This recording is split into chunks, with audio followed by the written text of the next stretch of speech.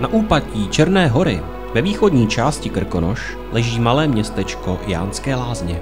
V roce 1994 tu byla za podpory nadace Olgy Havlové vystavěna naše škola. Obchodní akademie, obchodní škola a praktická škola pro tělesně postižené. Přijměte nyní naše pozvání na krátkou návštěvu. A my vám ukážeme, jak tu vypadá jeden běžný den v týdnu.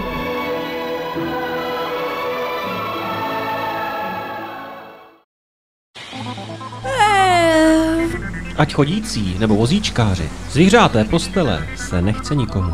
Těm, co to nezvládnou sami, pomáhají s ranním vstáváním a hygienou vychovatelé nebo zdravotní sestřičky.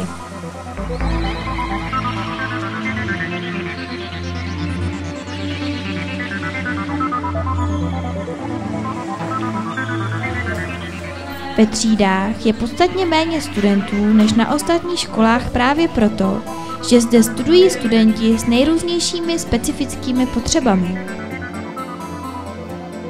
Písemky se ale píší i u nás. Pokud student nezvládá psát sám, se zápisem mu pomůže vychovatel. Už aby byla přestávka, ta písemka z matiky mě nějak unavila.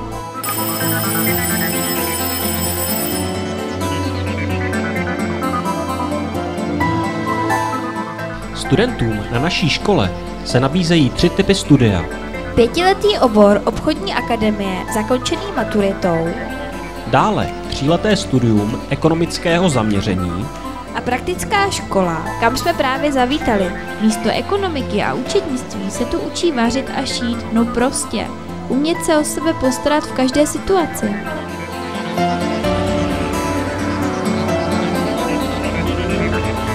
Všechny třídy bez rozdílu navštěvují tělocvičnu a bazén.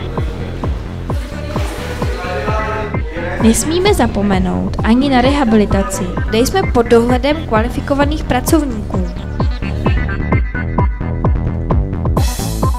Blíží se čas oběda, to všichni studenti i zaměstnanci spěchají do jídelny.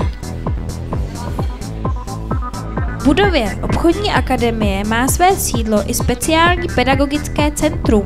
My můžeme využít jeho služeb a obrátit se na něj třeba při hledání pracovního uplatnění.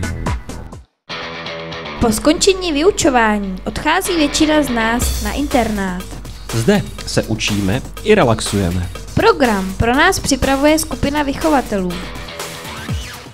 Nebo si vystačíme úplně sami.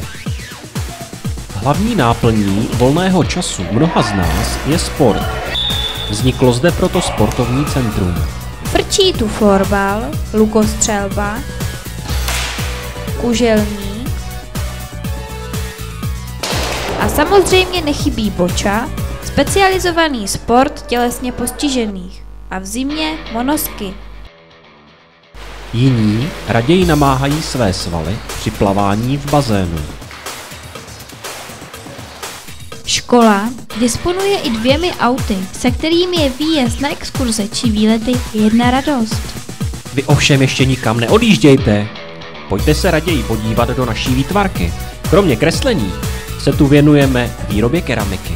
A než se výrobek v peci vypálí, navštívíme aulu. Konají se tu pravidelné videoprojekce.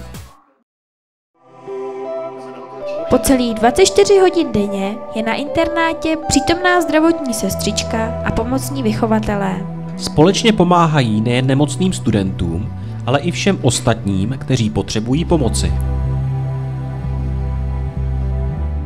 A jsme na konci naší prohlídky. Internát obchodní akademie se pomalu připravuje ke spánku. Tak dobrou noc. A nashledanou u nás v Jánských lázních